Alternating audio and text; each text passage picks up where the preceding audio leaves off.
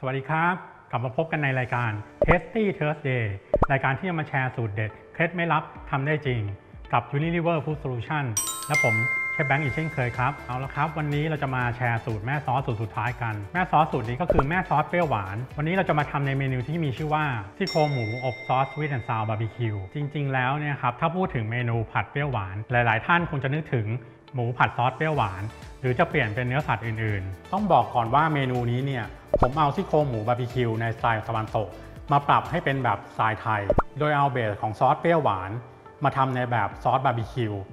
เพื่อทำให้ถูกปากถูกใจคนไทยมากยิ่งขึ้นครับอ่าเรามาเริ่มกันที่การทำแม่ซอสเปรี้ยวหวานกันก่อนเลยนะครับ ชื่อก็บอกอยู่แล้วนะครับ ว่าต้องมีความเปรี้ยวความหวานกลมกล่อมอยู่ในตัว เดี๋ยวเรามาดูกันครับว่าจะทำเป็นยังไง อันดับแรกนะครับ เราก็จะใส่ตัว ซอสมะเขือเทศลงไป จากนั้นนะครับตามด้วยน้ำตาลทราย แล้วเราก็จะมีตัวน้ำส้มสายชูครับ ใส่น้ำเปล่านะครับ น้ำสะอาดลงไปนิดนึงนะครับ แล้วก็แน่นอนต้องมีเกลือป่นครับ เพิ่มรสชาติด้วยผงปรุงรสไก่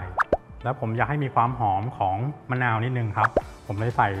ผงรสมะนาวลงไป จากนั้นนะครับเราก็จะเปิดไฟ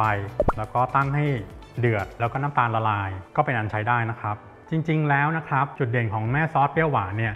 นอกจากจะมีความครบรสกลมกล่อมแล้ว จะต้องมีสีสันที่น่ากิน เห็นแล้วชวนน้ำลายสอ บวกกับความเงางามที่เคลือบอยู่บนอาหาร ที่แค่พูดเนี่ยก็ทำให้หิวกันได้เลยครับ แล้วต่อไปนะครับเราจะมาทำการลวกทำความสะอาดซี่โครงหมูกัน น้ำเดือดนะครับ เราจะใส่ตัวหอมใหญ่ลงไป แล้วก็กระเทียมนะครับ ใบกะวานครับไทยเม็ด พวกนี้นะครับจะช่วยดับกลิ่นคาวของหมูนะครับ ครับเมื่อเราใส่เครื่องเทศลงไปแล้วเนี่ยตามด้วยซี่โครงหมู จากนั้นนะครับต้มในน้ำเดือดอีก 5 นาที เพื่อล้างคราบสกปรกออกมานะครับอะซี่โครงหมูของเราก็ต้มมาครบ 5 นาทีแล้วนะครับ เดี๋ยวเราจะตักขึ้นไปล้างน้ำสะอาดครับ แล้วระหว่างที่เรารอซี่โครงหมูเราสะเด็ดน้ำนะครับ เรามาผสมตัวซอสบาร์บีคิวนะครับอันดับแรกเราได้ตัวแม่ซอสเปรี้ยวหวานมาแล้วนะครับเอามาใส่ชามผสม ใส่กระเทียมสับครับ แล้วก็พริกปาปริก้านะครับ พริกไทยดำนะครับบดหยาบแล้วก็ต่อไปก็ใส่ตัวมัสตาร์ดครับ ตัวซอสเปรี้ยวหรือว่า Worcester sauce ครับคนให้เข้ากันนะครับ เพียงเท่านี้นะครับ ตัวแม่ซอสเปรี้ยวหวานของเราก็เป็นซอสบาร์บีคิวเรียบร้อยแล้วครับ เอาละครับ เราก็ได้ตัวซอสบาร์บีคิวของเราแล้วซี่โครงหมูเราสะเด็ดน้ำไปแล้วนะครับ เตรียมภาชนะนะครับที่เป็นกระทะหรือหม้อก็ได้นะครับ เอามาผัดตัวซี่โครงหมูนะครับเริ่มจากใส่น้ำมันพืชลงไป ใช้ไฟปานกลางก็พอนะครับ จากนั้นนะครับซี่โครงหมูสะเด็ดน้ำเรียบร้อยเราจะใส่ลงไปเลย เราก็ผัดเคล้าให้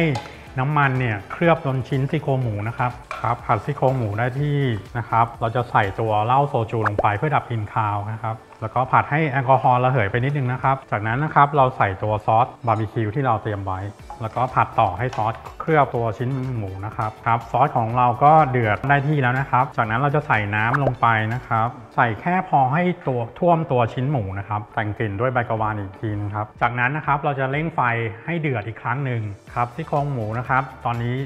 น้ำที่ต้มไว้เดือดเรียบร้อยแล้ว เราจะช้อนคราบสิ่งกบสกปรกออกนะครับ จากนั้นนะครับต้มต่อไปอีก 30 นาที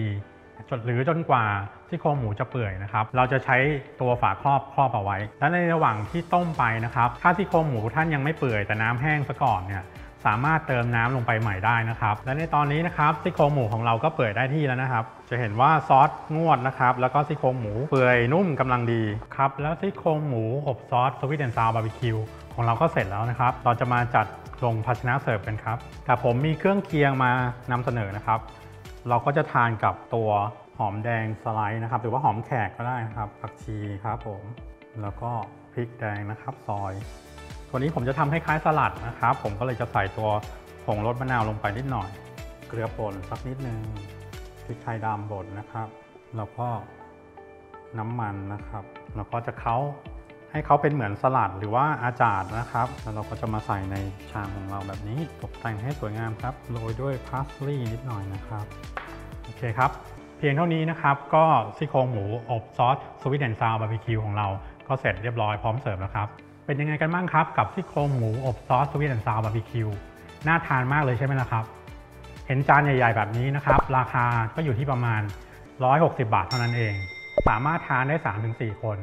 แต่ถ้าทานเป็น 1 เสิร์ฟนะครับ ก็อยู่ที่ราคาประมาณ 40 บาทเท่านั้น